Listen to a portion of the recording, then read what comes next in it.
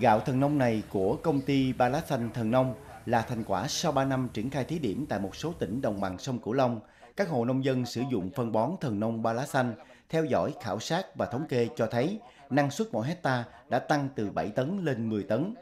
Giữa hàng ngàn công thức đang được giới thiệu trên thị trường, phân bón thần nông Ba Lá Xanh còn giúp bà con nông dân nắm bắt kiến thức sử dụng phân bón dễ dàng với ba công thức cơ bản.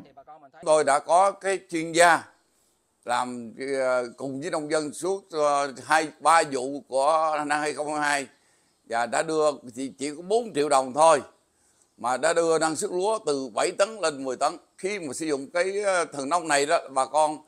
giảm được 60% từ sâu đó là sự an toàn cho cộng đồng an toàn cho nông dân. Thứ hai nữa là, là bà con không xài không cần xài hàng ngàn loại công thức khác. Nó sẽ bà con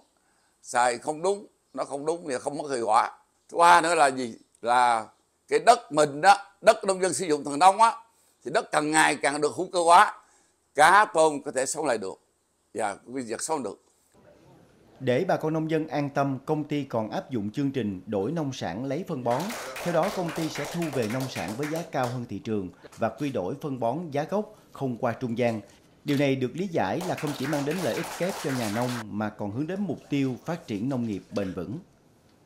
Đầu vào lời, đầu ra lời là nông dân lời kép. Xài thần nông là nông dân lời kép, xác nhận đây là gạo thần nông, gạo an toàn cho cộng đồng và phù hợp với cái tình trạng lúa hiện nay chúng ta cần có một dòng lúa hơn để tiến đến nền nông nghiệp xanh sạch bền vững.